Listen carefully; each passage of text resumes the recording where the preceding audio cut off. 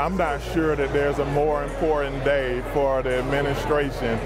Ladies and gentlemen, please welcome the 61st mayor of the city of Atlanta, the Honorable Andre Dickens.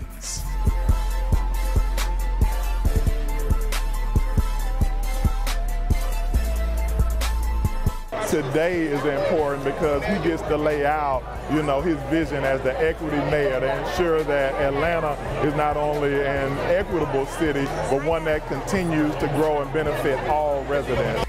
When we invest in our children with education and life skills, our businesses feel their workforce demands. We're building a city uh, that's going to work for everyone, where no matter where you are, no matter where you live, no matter who you love, you can get ahead in this city. Uh, that's the vision of this mayor. Uh, that has been the legacy of this city. It's, it's been clear over the first three months in office that, that the top priority for Mayor Dickens is public safety and making sure that our residents feel safe and officers feel supported.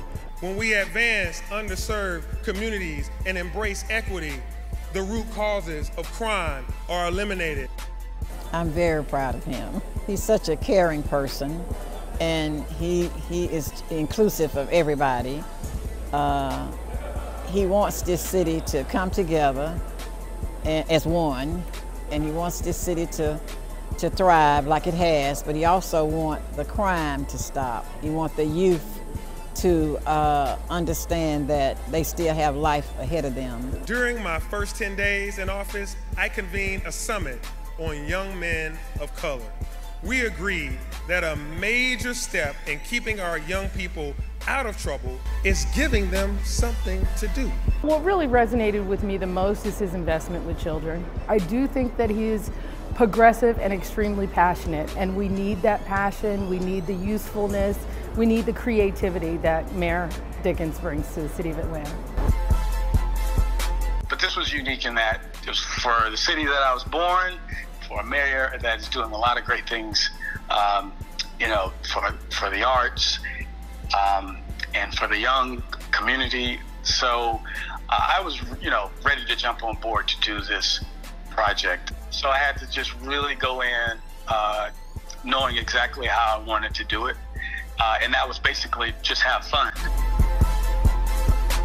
He has a strong strategy to move our city forward. Uh, understanding where we are in the space of crime and the technology that's needed there uh, and, and the outreach to the community, I think those, those things are aggressive, yet are very much needed to move our city forward. I was inspired by Mayor Dickens this morning he gave a very clear message that we're all in this together. I was very moved that the leadership team went out and picked up garbage. The mayor and his leadership team went out and picked up garbage.